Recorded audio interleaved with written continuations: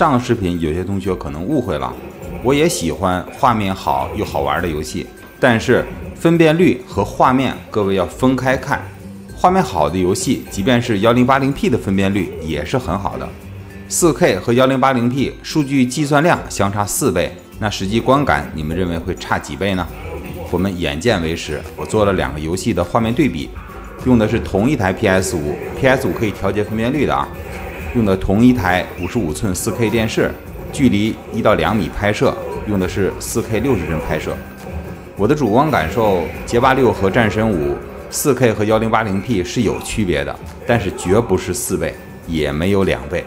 如果你家用的是八十五寸或者一百寸的电视，区别应该会大一些。